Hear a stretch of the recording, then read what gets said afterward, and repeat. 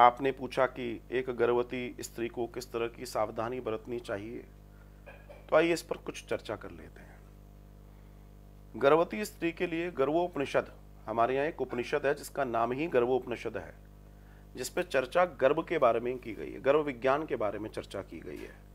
तो सबसे पहले गौरवान्वित हूँ कि सनातन में हर सब्जेक्ट के ऊपर कहा गया है।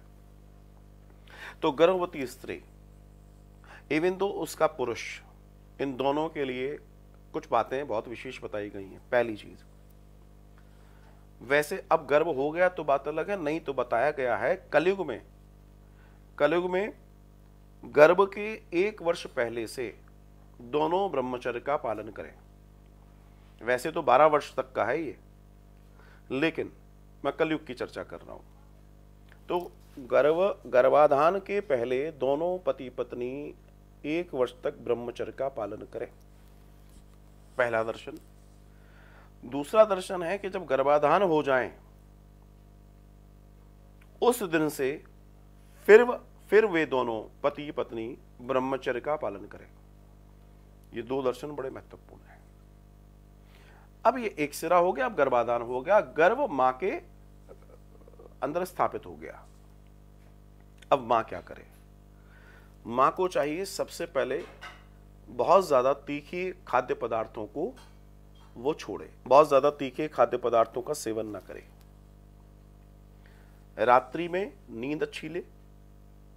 सुबह जल्दी उठे। ध्यान रखना, शिशु जिस जिस प्रकृति को प्राप्त करता है, शिशु वैसे ही प्रकृति के साथ जीता है। एक छोटा सा उदाहरण देता हूँ। आप देखना आप कि आपके भाई बहन या और लोग जब सोते हैं तो उनका पॉस्चर क्या होता है?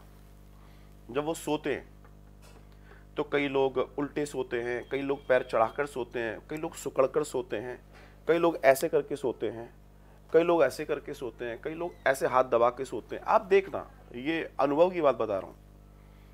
तो इस पर शोध हुआ तो पता पड़ा कि गर्भ में आप जिस स्थिति में रहे हैं आप वैसे ही सोते हैं। वो प्रैक्टिस गई नहीं है। तो गर्भ विज्ञान वाला विज्ञान है। आज मैं इस मैं इस पर बात करूँगा, क्योंकि अच्छा प्रश्न है। तो जो माँ है, उसे चाहिए कि वो सात्विक जीवन जिए, सात्विकता के साथ। तो सात्विकता में क्या क्या चाहिए? सात्विकता में चाहिए कि सात्विक भोजन, सात्विक आचरण, सात्विक आचार विचार उसके बाद क्या खाए? बात हो गई, अब क्या पढ़े? उसे सैद्धांतिक चीज़ों को, अर्थात शास्त्र को, धर्म को, नीति को, तुम अगर अपने बेटे को, अपने बच्चे को, अपनी बच्ची को, जो तुम्हारे गर्भ में है, जो भी आएगा, तुम अगर उसे राजनीतिक बनाना चाहते हो, तुम राजनीतिक दर्शन पढ़ो, राजनीति दर्शन पढ़ो। तुम अगर उसको फिलोसोफर बना बनाना चाहते हो तो तुम फिलोसोफर फिलोसफी पे बात करो। तुम जो चाहते हो बच्चे का निर्माण, तुम्हें उस नौ माह में कम से कम उसी पर काम करना है। क्रोध न करें। ऐसी चीज़ों का सेवन बिल्कुल ना करें जिसका प्रभाव गलत होता है, जैसे बाहरी चीज़ें। अगर मैं आज के प्रदेश में बात करूँ, किसी भी तरह के chocolates, wafers, chips, fast food, ऐसी चीज़ों का सेवन कतई ना करें। आज आप परेशान हैं कि आपके बच्चे छोटे छोटे बच्चे फास्ट फ़ूड के पीछे भाग रहे हैं। क्षमा कीजिए, वो आपके वजह से भाग रहे हैं। क्योंकि जब आपने उन्हें गर्भ दिया था, जब वो गर्भ में थे तो आप भी यही कर रहे थे। और आप जो कर रहे थे, वही वो कर रहे हैं। और आज के कलयुग में एक और चीज़ मैं निवेदन करना चाहता हूँ। कम से कम से कम से कम मोबाइल फ़ोन का इस्तेमाल करें। इसलिए नहीं कि इससे आपको नुकसान होगा, वो तो एक अलग पार्ट है, उसका रेडिएशन बच्चे को कमज़ोर बनाता है। मैं नहीं कह रहा, आप पढ़िए। बड़ी बड़ी विदेशी यूनिवर्सिटीज का सर्वे है ये, कि गर्भवती महिला को फ़ोन से बिजली, जहाँ सो रही है, उसके आसपास बिजली के प्लग्स ना हो। वैसे तो नॉर्मली सबके लिए है ये।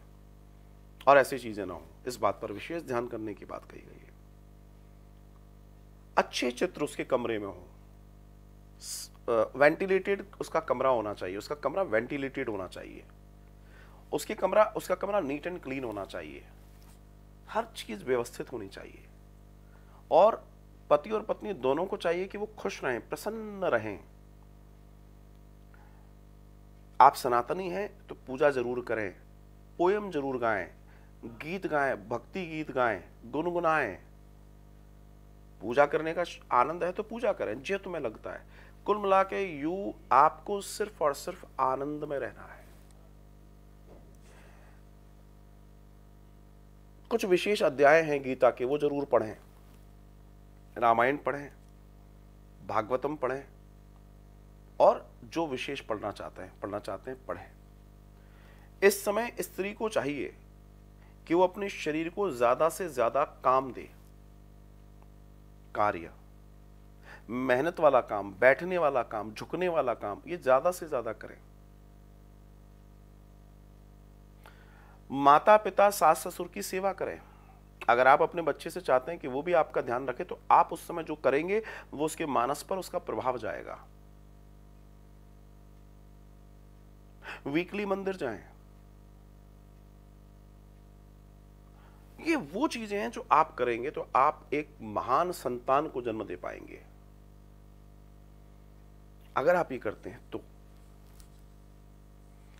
आजकल एक बड़ी विडंबना है कि जब गर्भ आता है और थोड़ी सी समस्या होती है तो स्त्री अस्पताल पहुँच जाती है, डॉक्टर के पास पहुँचा, और जैसे ही आप डॉक्टर के पास पहुँचे, वो आपको ट्रीटमेंट शुरू कर देता है, जबकि ट्रीटमेंट की कोई ज़रूरत नहीं है। ट्रीटमेंट की किसी भी तरह की कोई ज़रूरत नहीं है। विशेष ध्यान दें आपको मैं एक ऐसा सूत्र दे देता हूँ कि आपको किसी डॉक्टर के पास जाने की ज़रूरत नहीं है आपका बच्चा हेल्दी वेल्दी होगा। अगर आप डरपोक नहीं है तो आप ये कर लेंगे डर गए तो डॉक्टर के पास पहुँचेंगे। आपका जो भोजन है विशेष तौर पे उसका बा, उसकी बात कर रहा हूँ जो गर्भिणी है उसी की चर्चा चल रही है। आपके भोजन में यह ध्यान रखें कि प्रोटीन की मात्रा अच्छी हो। आपके डाइट में वाइटामिन प्रॉपर हों। और स्पेशली एक चीज़ मैं आपसे कह रहा हूँ उनमें आयरन और कैल्शियम मैग्नीशियम ऐसी चीज़ों का आप सेवन करें। जैसे मखाना है ड्राई फ्रूट्स हैं आपके आपके आ, सलाद है हरी सब्ज़ियाँ हैं सीजनेबल सब्ज़ियाँ हैं सीजनेबल फल क्योंकि नौ माह के अंदर लगभग आपको चार ऋतु मिल जाती हैं। लगभग चार ऋतुएँ मिलती हैं एक माह को चार ऋतुएँ। और उसके फल उसके सारी चीज़ें वो बच्चे के लिए सुंदर है। तो अगर आप प्रोटीन का, विटामिन्स और विटामिन्स के साथ साथ आप इसमें लोहा मीन्स आयरन, कैलमेग, इन चीज़ों को नेचुरल सोर्स में अगर आप जा रहे हैं, और एक चीज़ बहुत इंपॉर्टेंट है इसके ऊपर omega three omega three omega three काय काय से मिलता है? ओमेगा थ्री आपको अलसी से मिलता है। ओमेगा थ्री आपको अखरोट से मिलता है। तो एक एक अखरोट या मैक्सिमम दो अखरोट उस माँ को प्रतिदिन खाना चाहिए। वैसे तो नॉर्मली सब व्यक्ति को खाना चाहिए और दो से ज़्यादा अखरोट खाना भी नहीं चाहिए। उसको इसलिए क्योंकि उसके गर्भ में शिशु है तो वो खा सकती है, डबल दो खा सकती है। लेकिन अगर ये वो गर्भिणी करती है तो आप तय मानिए, एक सुंदर संतान को वो जन्म देती है, वो हर तरीके से सुंदर संतान होगी। हष्टपुष्ट होगी। और आप जैसे ही डॉक्टरों के पास गए, आप उनके चंगुल में फंसे तो आपको हर महीने वो बुलाएँगे, अपना बिल बनाएँगे और आखिरी में आपकी चीराफाड़ी ज़रूर करेंगे। और अंत अंत तक आपसे कहेंगे, चिंता मत करो, हम तो ट्राई कर रहे हैं, वो तो ट्राई ही करते हैं। लेकिन आखिरी में तो उनको जो करना है, वो तो उनको मालूम है। एक शोध बता रहा है कि भारत में 45 परसेंट सीजेरियन अनावश्यक तौर पे हो रहे हैं। अनावश्यक तौर पे 45 परसेंट सीजरियन हो रहे हैं, जहाँ सीजर की ज़रूरत नहीं है। ओवरऑल सीजर की सीजरियन की बात कर रहा हूँ बात कर रहा हूँ। दूसरी चीज़ सुनिए। अब आप कहेंगे इसका मतलब पचपन परसेंट हो रहे हैं? पचपन परसेंट नेचुरल होते हैं? नहीं, पचपन परसेंट नेचुरल नहीं है। पचपन परसेंट आपकी और हमारी गलती से हो रहे हैं। आजकल लड़के भी इतने नाजुक हो गए कि श्रीमती जी को छींक आई तो हाथ में लेके वह बिस्तर पे लटा रहे अरे नहीं, मम्मी मम्मी, वो उसको प्रॉब्लम है। क्या प्रॉब्लम है? तुम उसको नाजुक बनाओगे, बच्चा नाजुक बनेगा, बाद में ज़िंदगी बर्बाद बच्चे को लेके डोलते रहो हाथ में। अभी बीबी को उठा रहे हो, बाद में बच्चे को उठाना। ये झाड़ू क्यों बनी थी? ये पोछा क्यों बना था? मैंने एक बहुत अच्छी बहुत अच्छी फैमिली देखी। यू कैनॉट इमेजिन उस फैमिली के पास कोई कमी नहीं थी।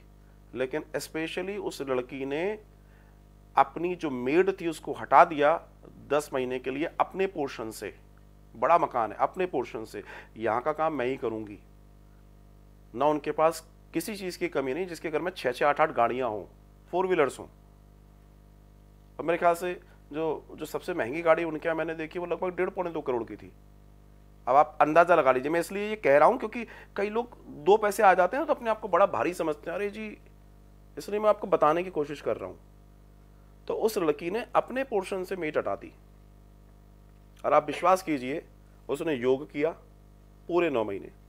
उसने व्यायाम किया, उसने वाइटामस पे काम किया, उसने मिनरल्स पे काम किया, उसने प्रोटीन पे काम किया, उसने ओमेगा पे काम किया और उसने अपने आप को बढ़िया रखा और उसका बच्चा नॉर्मल बर्थ लेता है और हेल्दी बच्चा स्ट्रांग बच्चा उसको मिला।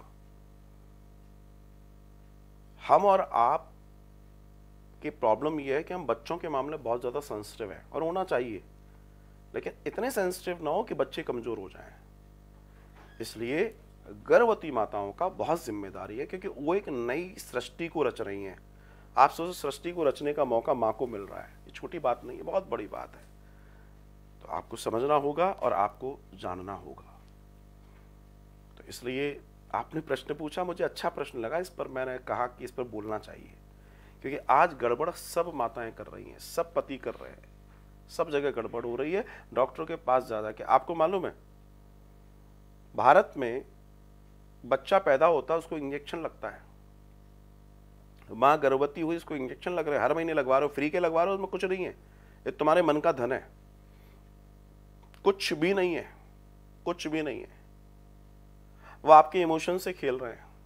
ऐसा नहीं है कि हर डॉक्टर ऐसे हैं। ऐसे भी डॉक्टर हैं जो आपको अच्छी सलाह देते हैं, लेकिन आजकल बहुत कम बचे हैं। अच्छी चीज़ें कम बची हैं। ऐसा नहीं कि सारे डॉक्टर खराब हैं। लेकिन इसे समझना पड़ेगा, इसे जानना पड़ेगा। आप अपने स्वास्थ्य का ध्यान रखें, अपने आनंद का। किसी डॉक्टर के, पहले क्या, पहले माताएँ जाती थी क्या डॉक्टर में? हर महीने पहले की माताओं ने इतने हष्टपुष्ट बच्चे पैदा कर दिए। क्या, कहाँ जाती थी वो? कहीं नहीं जाती थी। घर का काम करती थी, मस्त रहती थी। भगवान का भजन था, ना कोई ये घर में दाइया दाइयाँ पैदा कर देती थी बच्चे। मैं ये नहीं कहता, मैं कोई कंपैरिजन नहीं कर रहा, मैं एक जनरल बात बता रहा हूँ आपको। और आज आपके पास सारी सुविधाएँ, फिर भी आप कमज़ोर हो तो इसका मतलब कहीं कुछ गड़बड़ है। हम लोग पढ़े लिखे लोग हैं। सब होने के बावजूद भी अगर प्रॉब्लम है तो क्यों प्रॉब्लम है? उसके पीछे जाइए। बहुत ज़रूरी है जानना।